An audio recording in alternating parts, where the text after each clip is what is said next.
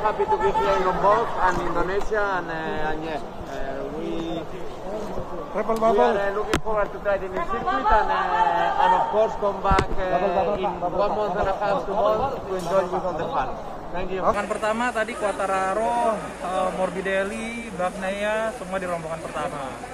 Ini David Silso, Marquez, Alex, uh, semua di rombongan kedua. Termasuk Carlos Estelata, manajer director Dorna juga di rombongan kedua. えっ?